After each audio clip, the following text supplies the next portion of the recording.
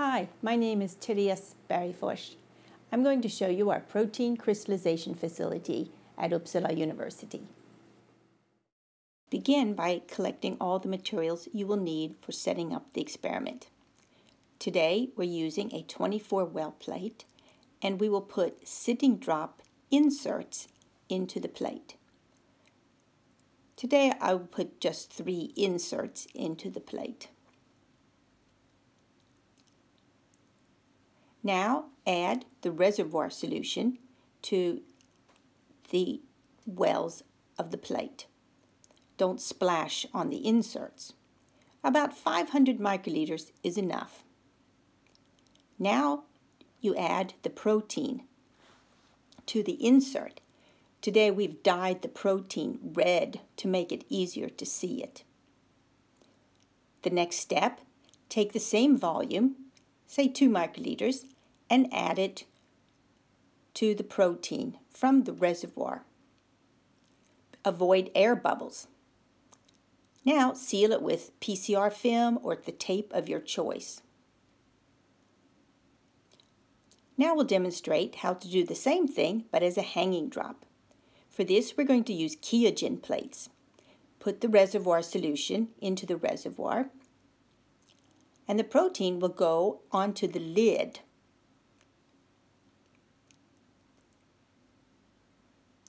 Two microliters of red protein. Now add the reservoir solution, two microliters, to the protein. Once again, avoid air bubbles.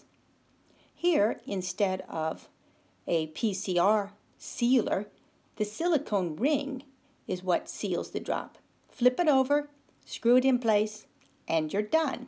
That's a hanging drop. Now let's take a look at the same thing with a robotic setup. Begin by transferring the screening solution or reservoir solution from the deep block into an MRC robot plate. You'll need about 50 microliters of the screening solution into the MRC plate.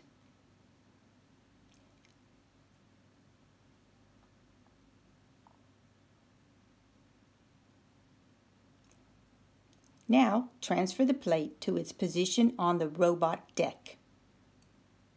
The next step is to add the protein itself. Once again, we've dyed it red add the protein itself to the robot deck in its proper position. You need about 15 microliters to do a 96 well plate with the robot. Now let's zoom in and look at how the robot picks up the protein solution. Once again, we've dyed it red, and it adds it to the plate in the proper position. The next step, after it delivers the protein, is to suck up the reservoir solution and add it to the protein solution.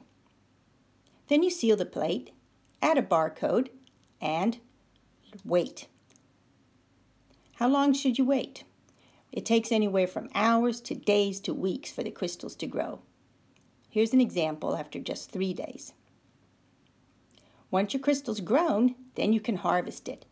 Cut away with a scalpel the plastic film. You only want to open one well at a time. Pick up the mm, crystal loop, mount it on a magnetic pen, and go fishing under the microscope. Once you've captured the crystal in the loop, plunge it immediately into the liquid nitrogen, and you're done.